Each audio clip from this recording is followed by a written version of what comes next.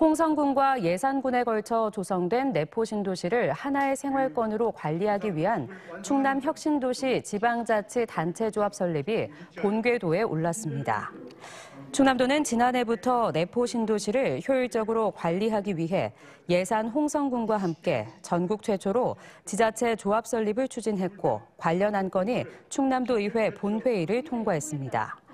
이에 따라 조합은 내포 신도시 내 주민자치 활동과 축제 운영, 공원과 도로 유지 등 공공시설물 관리 등을 담당하며 충남도는 오는 3월 홍성과 예산군 의회가 규약안을 의결하면 행정안전부에 조합 설립 승인을 신청할 계획입니다.